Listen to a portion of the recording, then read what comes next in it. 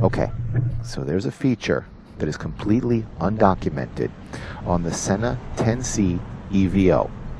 It's an undocumented feature, but it allows you to voice control your phone. So you have Google Voice, you have Alexa, you have Siri. Stay tuned.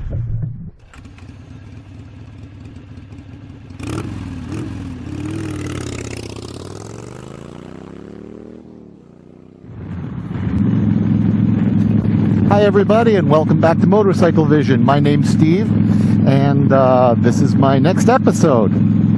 Again, if you're new to the channel, I'm a 50 something year old motorcycle rider who began riding only about a year ago, and I'm chronicling my adventures on this channel.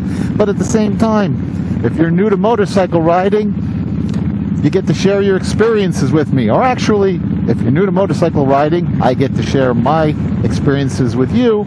And hopefully, you'll reach out to me if you have any questions or anything that you're dealing with. So, what's today?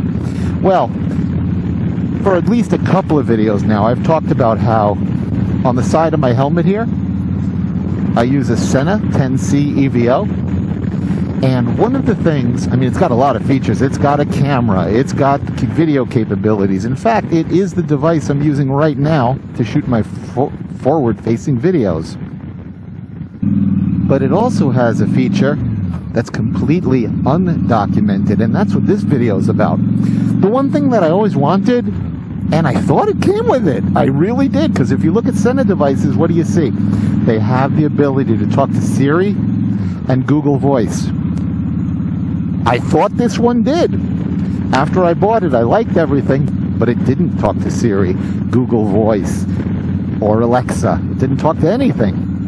I was disappointed in that because it has controls and they're fairly easy to operate once you get used to them, but they are a little bit of a mind bender. You know, it's like I want to play the next track on my music, so I got to hold the dial down and turn it forward, or hold the dial down and turn it back, but not too far, otherwise you end up changing the volume. like crazy stuff like that. Um, it has a speed dial, but you got to hold the button down the correct number of seconds, and then you got to turn the dial to get to this preset speed dial number that you want. I mean, it's like a whole lot of stuff. So the feature that I was really upset about was the loss of voice control because instead of having to go through all of these crazy features, it would have been nice if you know you could just say to you know your Alexa, Google, Siri device, you know, call this number, or you know what time is it, or what's on my calendar, change the song, play the music, blah blah blah blah blah, and I was very upset about it. Well, I found an undocumented feature. And when I say undocumented feature, I mean it in the most sincere sense of the word. It's not in the Sena documentation.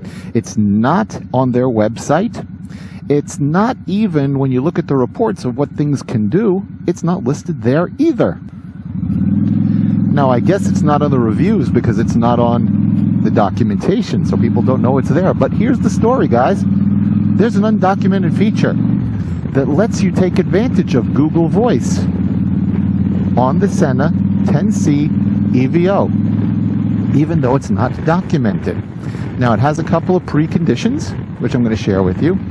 You can't be doing something else at the time. So, what do I mean? You can't be listening to music and activate it.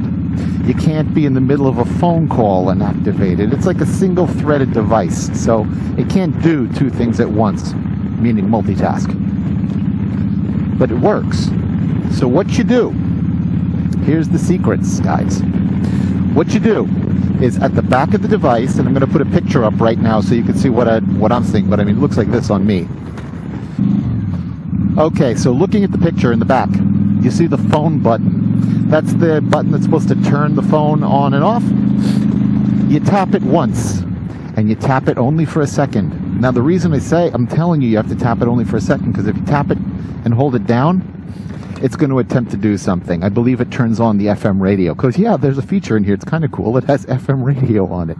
But it will try and turn it on while you're trying to use Google Voice. So, not a good thing. Okay. So I pulled over to make this part of it sound better and so I could focus without having any difficulties while I'm driving. So the secret of this thing is just press the phone button this one right over here. Press the phone button once, only for a second. And then it will activate either Alexa or Siri or Google Voice, in my case, Google Voice, and you can talk to it. Here's an example. What time is it? 12:20 p.m.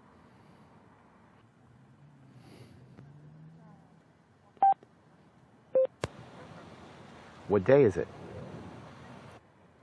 It is Saturday, March 27th, 2021.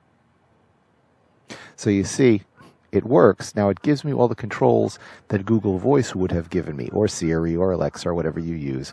I can make phone calls by telling it to call someone. I can turn on my music stations, be it Sirius, Pandora, whatever you use. I can turn it on. I can play my personal music. I can go to YouTube. I can do just about anything. But all I have to do is touch one button. Now, the good thing about this is, I mean, some of the features are built into it, okay? You know, spin the dial and you can say next, spin the, push push the button rather than spin the dial for next, push the dial, spin the spin it in the other direction, and you go backwards. But in the meantime, I don't have to go through all of that. I just push one button and I get all of it, which is faster, easier, and safer. So it's an undocumented feature, but it, it opens up worlds for you because I can tell this thing to play music. I can tell this thing, I can ask it to make a phone call. It's just become more hands free than it was. I don't know why they don't publicize that this feature is there, but it's there. So, guys, take advantage of it. Uh, it's it brings a whole new realm of usefulness to this device. It takes it to another level for me anyway. I hope you found this feature useful. If you did, I ask you to give me a like, give me a subscribe, give me a comment, let me know about it. I'm especially interested if you're thinking about buying one of these devices and this may have been the thing that swayed you, or if you have one and you were like me and you always wanted this feature, but you thought you couldn't have it. Um, once again, you are watching Motorcycle Vision. My name is Steve, and I look forward to being with you on the next ride. Ride safe. Take care. See you next time. Bye bye.